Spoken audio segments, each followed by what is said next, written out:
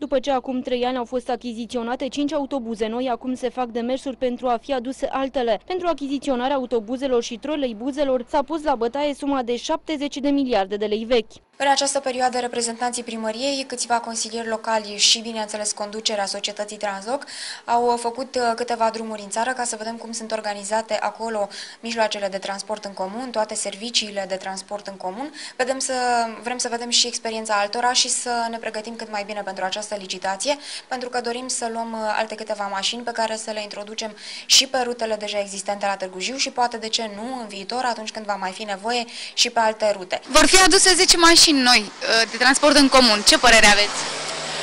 Păi uh, de care, de care, cum arată mașina mai întâi să-mi spuneți? Troleibuze și autobuze. A, fai, nemaipomenit.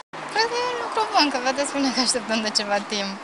Scopul înnoirii parcului prin aducerea de noi autobuze și troleibuze este acela de a crea noi rute, dar și de a micșora consumul specific cu până la 40% față de cel existent. Există intenția de achiziția 5 autobuze și 5 troleibuze din următoarele motivații. Da?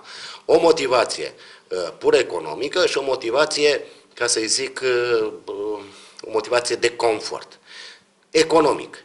Uh, la această dată se produc în țară și în lume mijloace de transport care au consumurile specifice cu până la 30-40% mai mici decât consumurile specifice ale mijloacelor de transport pe care noi le avem din generația respectivă. Reprezentanții Translog nu intenționează pentru moment să scoată din uz vechile autobuze, ci să extindă parcul existent.